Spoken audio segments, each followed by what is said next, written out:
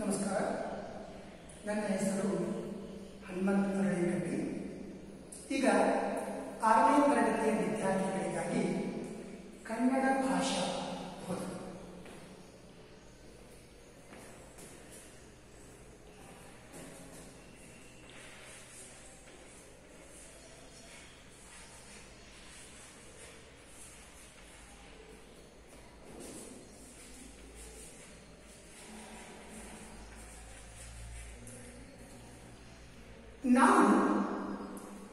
ಯಾವುದಾದರೂ ಒಂದು ಭಾಷೆಯನ್ನು ಕಲಿಯಬೇಕಾದರೆ ಆ ಭಾಷೆಯಲ್ಲಿ ಬಳಕೆಯಾಗತಕ್ಕಂಥ ಮೂಲಾಕ್ಷರಗಳ ಬಗ್ಗೆ ತಿಳಿದುಕೊಳ್ಳುವುದು ಅವಶ್ಯ. ಒಂದು ವೇಳೆ ಆ ಭಾಷೆಯಲ್ಲಿ ಬಳಕೆಯಾಗತಕ್ಕಂಥ ಅಕ್ಷರಗಳ ಬಗ್ಗೆ ನಮಗೆ ಸರಿಯಾದ ಜ್ಞಾನವಿಲ್ಲದಿದ್ದರೆ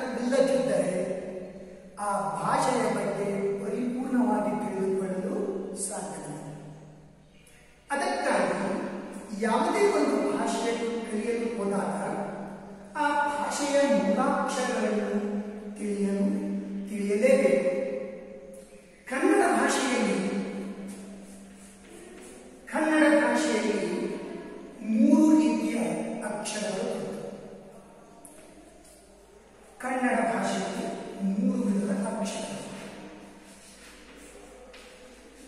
ಕನ್ನಡ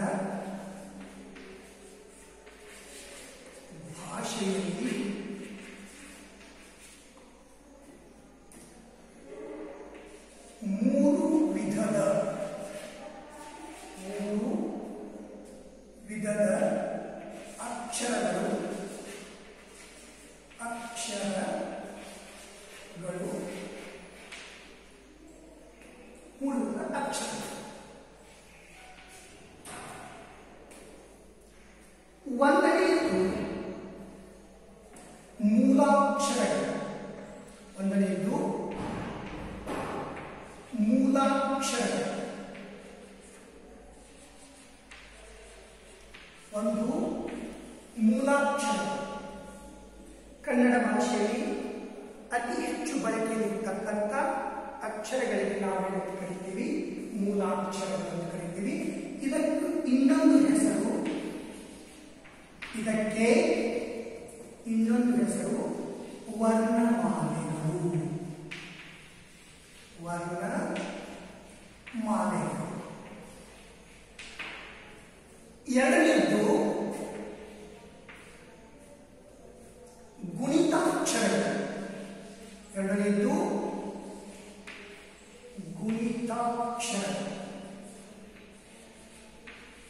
ಗುಣಿತಾಕ್ಷರಗಳು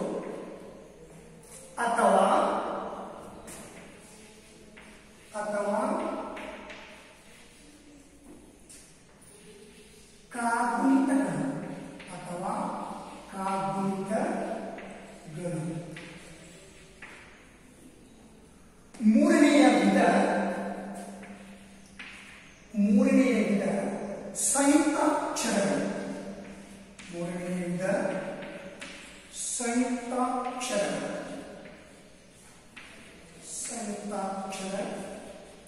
ಸಂಯುಕ್ತಾಕ್ಷರಗಳು ಅಥವಾ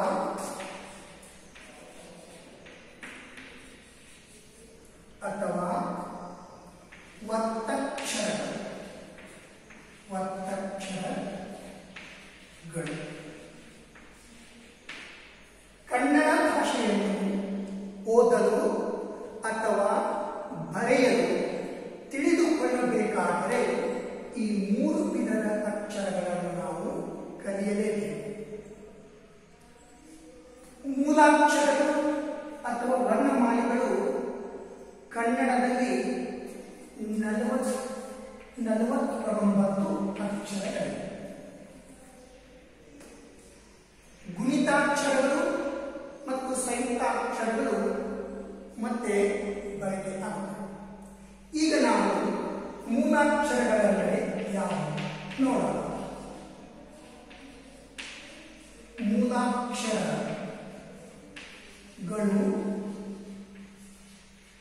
ಗಳು ಬಗ್ಗೆ ಮೂಲಾಕ್ಷರಗಳ ಬಗ್ಗೆ ನೋಡಿ ಕನ್ನಡ ಭಾಷಾ ತಜ್ಞರು ಕನ್ನಡ ಭಾಷೆಯನ್ನು ಬರೆಯಲು ಮತ್ತು ಓದಲು ಬಳಸಿದಂತಹ ಪ್ರಾಥಮಿಕ ಅಕ್ಷರಗಳಿಗೆ ಮೂಲಾಕ್ಷರಗಳೆಂದು ಕರೆಯುತ್ತಾರೆ. ಈ ಮೂಲಾಕ್ಷರಗಳ ಸಹಾಯದಿಂದ ನಾವು ಕನ್ನಡ ಭಾಷೆಯನ್ನು ಓದಬಹುದು ಮತ್ತು ಬರೆಯಬಹುದು. ಮೂಲಾಕ್ಷರಗಳಲ್ಲಿ ಮೂರು ರೀತಿಯ ಅಕ್ಷರಗಳು ಬರುತ್ತವೆ. ಮೂಲಾಕ್ಷರಗಳಲ್ಲಿ ಮೂರು ರೀತಿಯ ಅಕ್ಷರಗಳು ಬರುತ್ತವೆ. ಒಂದು ಸ್ವರಗಳು ಒಂದು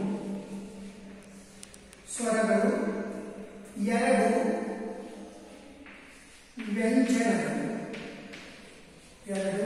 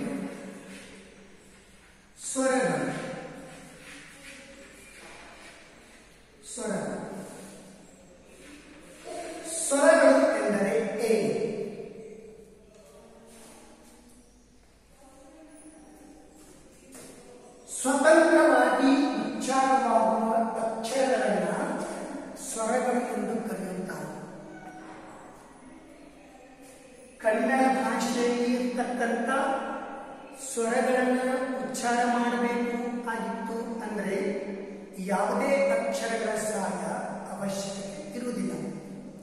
ಅಂದ್ರೆ ಎಲ್ಲ ಸ್ವರಗಳು ಸ್ವತಂತ್ರವಾಗಿ ಉಚ್ಚಾರವಾಗ್ತವೆ. ಅವು ಸ್ವತಂತ್ರವಾಗಿ ಉಚ್ಚಾರವಾಗುವುದರಿಂದ ಅವುಗಳನ್ನು ನಾವು ಸ್ವರಗಳು ಎಂದು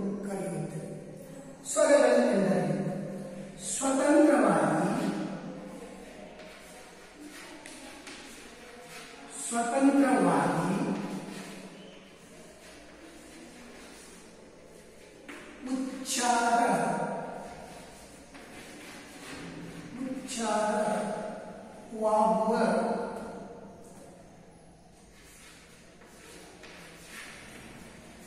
ಅಕ್ಷರಗಳಿಗೆ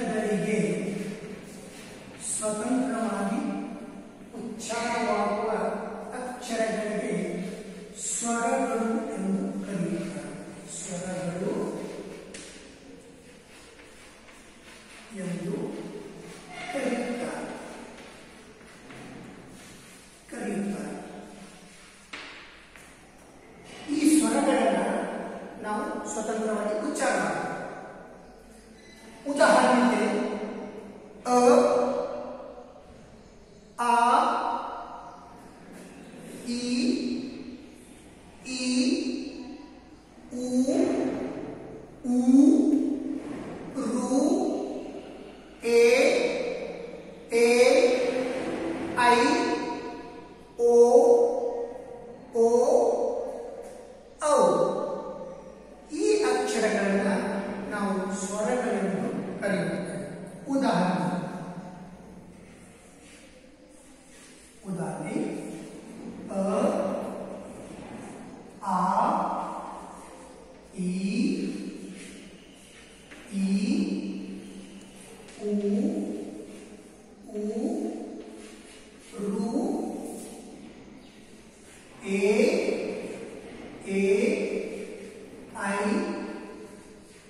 o